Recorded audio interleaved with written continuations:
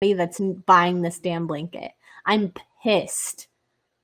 At least 20 people have bought this blanket. And I'm not getting paid for any of it. And I've sold all of it. they do need to sponsor me. They do. Because I'm giving them business.